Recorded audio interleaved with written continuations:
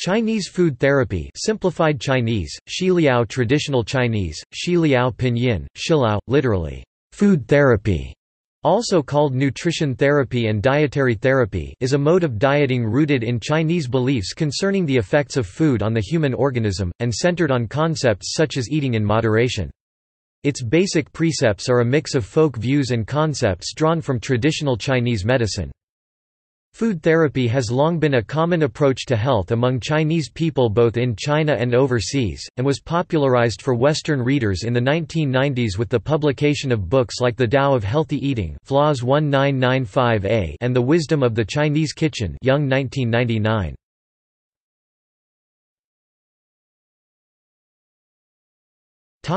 Origins A number of ancient Chinese cookbooks and treatises on food now lost display an early Chinese interest in food, but no known focus on its medical value. The literature on nourishing life Yangsheng Yangsheng Yangsheng integrated advice on food within broader advice on how to attain immortality. Such books, however, are only precursors of dietary therapy because they did not systematically describe the effect of individual food items. In the volume on Fermentations and Food Science of Joseph Needham's Science and Civilization in China, H. T. Huang considers the recipes for 52 ailments ca. 200 BCE and the Yellow Emperor's Inner Canon as precursors of the dietary therapy tradition, the former because it recommends food products as remedies for various illnesses, the latter because it discusses the impact of food on health. The materia medica literature, exemplified by the Shennong Bencao Jing 1st century CE, also discussed food products, but without specializing on them. The earliest extant Chinese dietary text is a chapter of Sun Simiao's Prescriptions Worth a Thousand Gold, Qian Jin Fang Qinjin Fang, which was completed in the 650s during the Tang dynasty. Sun's work contains the earliest known use of the term, food or dietary therapy. Shilao. Sun stated that he wanted to present current knowledge about food so that people would first turn to food rather than drugs when suffering from an ailment. His chapter contains 154 entries divided into four sections, on fruits, vegetables, cereals, and meat, in which Sun explains the properties of individual foodstuffs with concepts borrowed from the Yellow Emperor's inner canon, qi, the viscera, and vital essence, jing jing, as well as correspondences between the five phases, the five flavors, sour, bitter, sweet, pungent, and salty, and the five grains. He also set a large number of dietary interdictions Shi Jin Shijin, some based on calendrical notions no water chestnuts in the seventh month, others on purported interactions between foods no clear wine with horse meat or between different flavors. Sun Simiao's disciple Meng Shen, Meng Shen Meng Shen 621–713 compiled the first work entirely devoted to the therapeutic value of food, the Materia Dietetica, Shi Liao Ben Cao Shi Liao Ben Cao Shilao Ben Cao. Food Therapy Materia Medica. This work has not survived, but it was quoted in later texts, like the 10th-century Japanese text Ishinpo and a fragment of it has been found among the Dunhuang manuscripts. Surviving excerpts show that Meng gave less importance to dietary prohibitions than Sun, and that he provided information on how to prepare foodstuffs rather than just describe their properties. The works of Sun Simiao and Meng Shen established the genre of materia dietetica and shaped its development in the following centuries.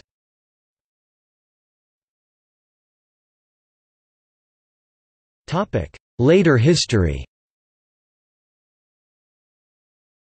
An abundant literature developed in China around the medicinal uses of food.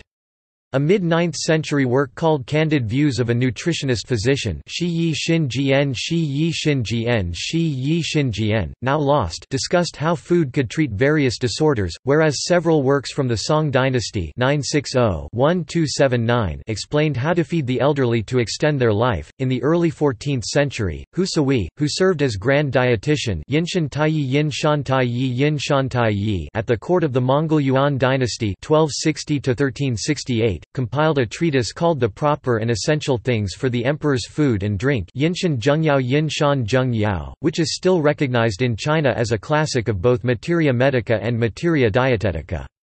Influenced by the culinary and medical traditions of the Turco-Islamic world and integrating Mongol food stuffs like mutton into its recipes, Hu's treatise interpreted the effects of food according to the scheme of correspondences between the five phases that had recently been systematized by northern Chinese medical writers of the Jin 1115 and Yuan eras. Before that period, food materials had not yet been comprehensively assigned to one of five flavors systematically correlated with specific internal organs and therapeutic effects. Chinese understandings of the therapeutic effects of food were influential in East Asia.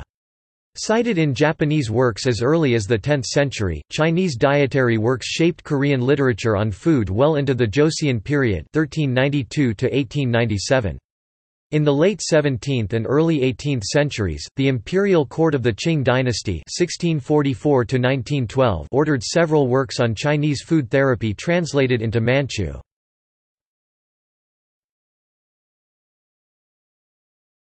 Topic: Main tenets Although the precepts of Chinese food therapy are neither systematic nor identical in all times and places, some basic concepts can be isolated. One central tenet is that, "...medicine and food share a common origin", and that food materials can therefore be used to prevent or treat medical disorders.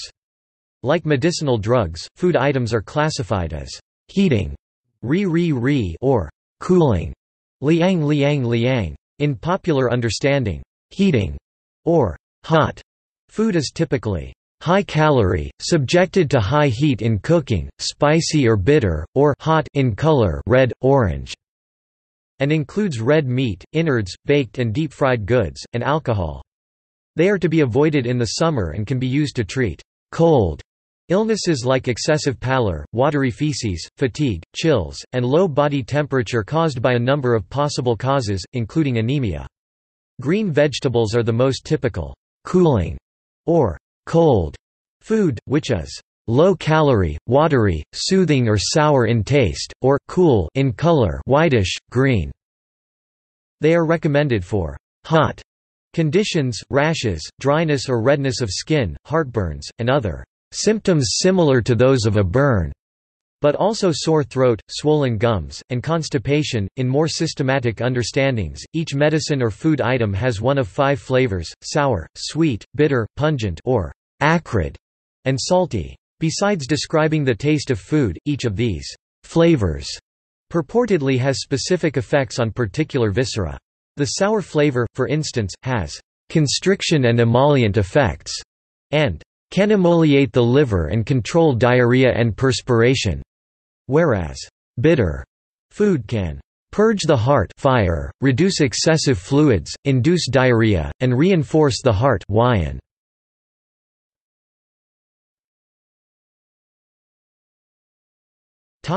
Scientific assessments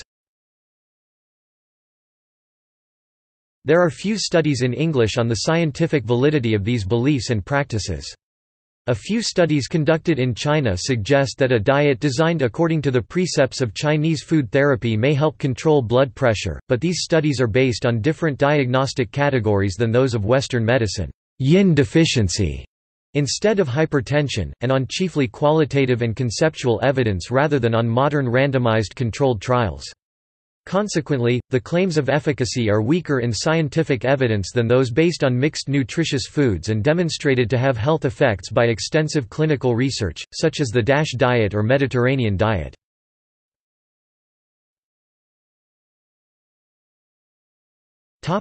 See also Bencao Gangmu, a materia medica compiled by Li Shizhen during the Ming dynasty Cheung Ming, a series of dietary and lifestyle recommendations adapted to Western eating habits